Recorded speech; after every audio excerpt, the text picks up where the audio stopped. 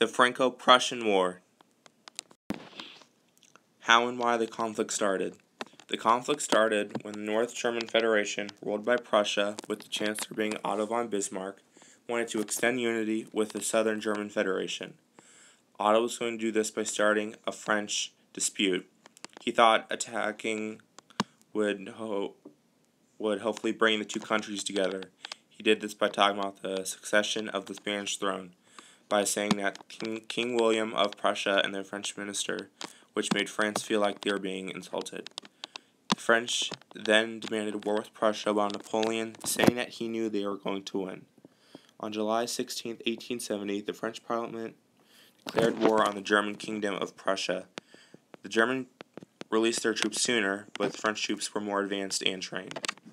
After the siege of Metz and the Battle of Sedan and many other attacks, the French were defeated and Napoleon was captured. Then, on July 28, 1871, the French capital fell, which then led to an uprising called the, French, the Paris Commune. Prussia controlled the capital for two months. Um, it was then taken back by France in May 1871. The German states were then un- were then united and were named the German Empire, which being led by King William I. Unification of Germany dis- disturbed the European balance of power and the Congress of Vienna.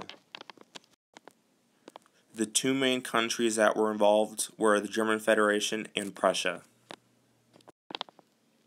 What were the results?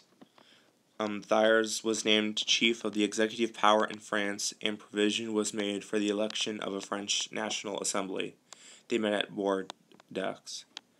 March 1st, the preliminary peace agreement, which was formalized in the Treaty of Frankfurt, it was ratified May 21st, 1871.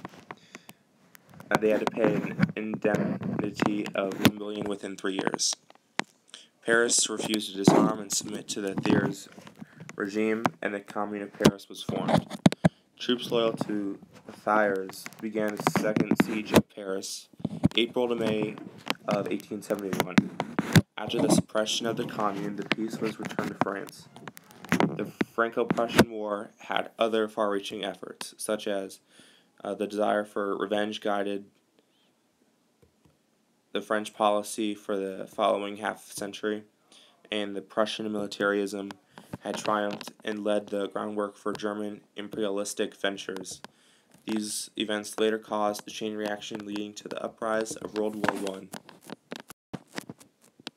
Some interesting facts were that the total amount of people killed was 872,981. Um, it lasted from July 19th, 1870 to May 10th, 1871, which lasted less than a year. Um, Seraphine Provost was the last French veteran who died in 1955, and Karl Glockner was the last German veteran who died in 1953.